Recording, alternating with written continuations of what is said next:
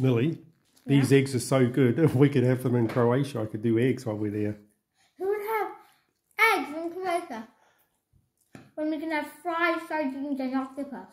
well, and the eggs are good Oh, too. yeah, but we can have them in Belgium every day. Oh, okay. Well, In Croatia, we can have fried octopus with mm. yummy stuff. okay. So maybe we'll do fried octopus instead. Yes. In Croatia, not in Belgium.